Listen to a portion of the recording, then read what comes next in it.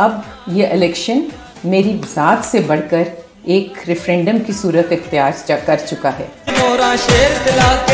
अब जो रूप है, वो ये है कि आप लोग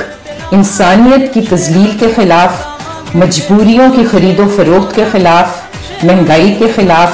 बेरोजगारी के खिलाफ लाकानूनीत के खिलाफ और मौजूदा तर्ज हुकूमत के खिलाफ और